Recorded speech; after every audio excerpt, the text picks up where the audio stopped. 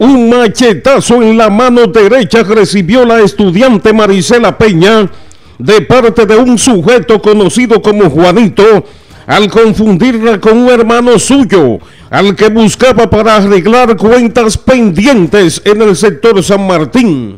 La joven herida se querelló en la fiscalía en contra de su agresor.